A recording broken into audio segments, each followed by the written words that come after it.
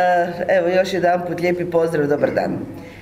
U listopadu 2020. godine je zatvoren Markov trg. Zatvoren je metalnom ogradom. I do, od listopada 2020. do danas nije se dogodilo ama baš ništa. Osim što je jučer ono što smo imali prilike čuti je premijer pokazao svoje nezadovoljstvo radom pojedinih institucija koji su istraživali događaj koji je rezultirao zatvaranjem Markovog trga, tako da je očekivati da naš premijer koji se tu ponaša oko kroničar vremena će ići na zabor materijala pa dok institucije ne pristanu da daju izvješće koje će njemu odgovarati, Markov trg će i nadalje biti zatvoren. Resorni ministar Božinović je obećao tad da će izvršiti sigurnosnu uh, sigurnosni način na koji će zaštititi zgrade koje se nalaze na Markovom trgu, što je do tad napravio osim te ograde ništa.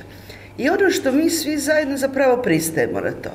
Mi pristajemo da imamo tu metalnu ogradu, nekako su svi, svi naučili da to tako je, da je to tako normalno. Ljudi koji žive na Gornjem gradu, neki mogu proći, neki ne mogu proći, ali to nije normalno. To je situacija koja nije normalna i koja nije uobičajena u jednoj razumnoj zemlji. Jedna razumna zemlja treba poštivati svoje institucije, treba voditi računa da te institucije i zaštiti, ali treba voditi računa da trg kao što je Markov treba biti dostupan svim građanima, da treba biti dostupan turistima, da treba zapravo biti dostupan svim nama.